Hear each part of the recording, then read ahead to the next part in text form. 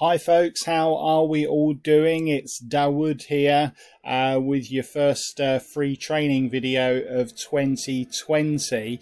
Um, I'm actually doing this because as some of you or most of you probably know, I've, I've just launched a, a new email related product called uh, Eagle Emails.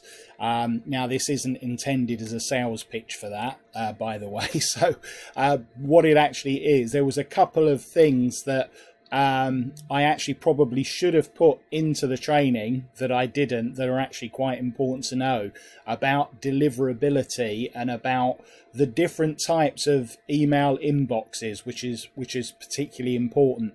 Now by the way for those that are interested as I said this really isn't intended as a sales pitch but there is a link underneath just in case you do want to pick Eagle emails up. But um, what this is about is about things that stop you getting into inboxes um, and in the in the course I actually talk about the main things but there were a few things that I left out and one of them was about the different types of inboxes one of them was about subject lines and one of them was about like headers and footers uh, that are in your emails that can also affect deliverability even though they're not part of the actual text that you're writing if that makes sense so I wanted to just show you the difference between the two main types of um, email inboxes, and particularly if we're talking about Gmail, which is, you know, the, let's be honest, the main provider. So I'm going to show you here. This is like a traditional inbox, yeah. So this is one of my accounts for for the Elite Tigers group. Now, obviously you can see here that this inbox doesn't have any tabs all right so providing your um, the mail that you send doesn't um, go into the spam folder then if you send an email to someone that's got one of these types of email inboxes then it will count as a good delivery and it will ping you know they'll get a ping on their uh, telephone to say that they've got um, a mail has been delivered, yeah? So this is a traditional inbox. However, most people these days do tend to have more sophisticated inboxes and this is where you get issues, yeah? So this is like a configuration that more and more people have these days. So what you've got here, you've got four different uh, fields. So you've got um, a primary field. So this is, if you like, the main inbox. Then you've got social media, which obviously is where, you know, notifications come from YouTube, Facebook, and whatever. Then you've got the dreaded promotions tab, which is the one we want to avoid at all costs and which is almost as bad as the spam folder. And then we've got our updates file. Um, now, the updates is the second best place for it to go because it still counts as a good inbox delivery if it goes to the updates folder. And what you also have to know is that a lot of people don't have all four of these tabs. The most common ones for people to have are primary, social, and promotions, and not to have updates. All right. So a lot of people just have one, two, three. And if they've just got one, two, three, then it's a case of it either going into promotions or going into primary. But if they do have updates, then it will go in there, but they will still get the ping on the iPhone if it goes into the updates folder. But they won't if it goes into promotions yeah? So this is the one where as i said this is really nearly as bad as the spam folder. If people have got an updates folder then it is really difficult to get into this um, primary yeah? Um, it's you know i get like hundreds, if not thousands, of uh, marketing emails every day, and probably less than 10 make it into this primary folder. So someone has done really well to, to get in there, yeah?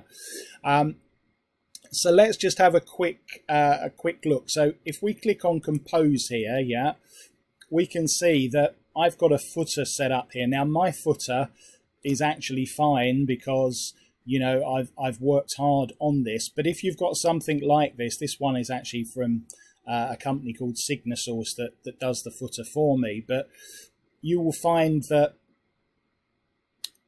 if you've got other things going on here and other messages, you know, if you've got quotes of the day or whatever, all of that can actually impact on your inbox delivery as well as the actual um, the actual subject matter of the email itself. So a lot of people they put a raw email into um, into a test email and that gets delivered. But what they forget is that when they then send it out with their standard template with all their headers and footers in, then that will also affect it. So you need to check that there isn't anything in any of any header, footer, or HTML that you are putting on your emails that could potentially affect inbox delivery.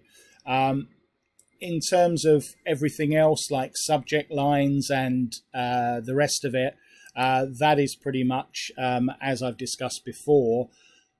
As a general rule, you should be uh, looking to always run your uh, mails through a, a, tester before you send them out. So again, in, in, in my uh, course, I tell uh, I tell people one particular place where they can go. There are actually a lot of uh, alternatives on the web out there. So you, you want to be looking for like devices that um, ensure inbox delivery and, and go out there and find one of those.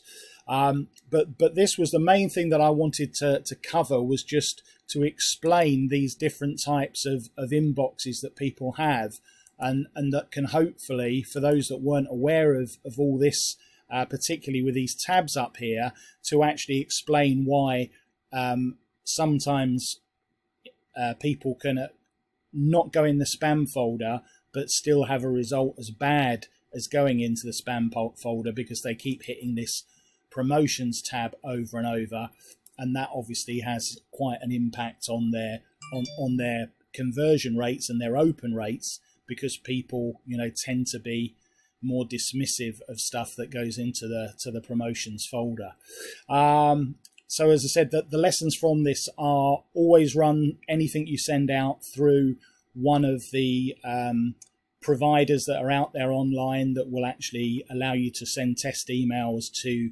uh, make sure that you're going to get inbox delivery.